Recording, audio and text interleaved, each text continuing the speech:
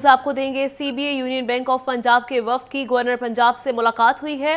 वफ्द की जानब से गवर्नर पंजाब को अहदा संभालने पर मुबारकबाद पेश की गई। इस पर बात करेंगे आकिब तनवीर से। आके बताएगा वफ्द में कौन कौन शामिल था?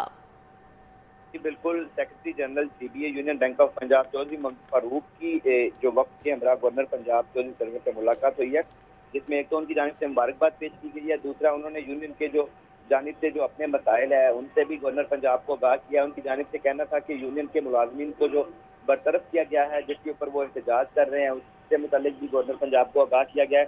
तो गवर्नर पंजाब की जानब से एक तो सिविल यूनियन के जो मसाइल हैं, वो भी चुने गए हैं, उनके हल करने के हवाले से जो भरपूर यकीन दहानी है वो भी करवाई गई है। शुक्रिया, आकिब।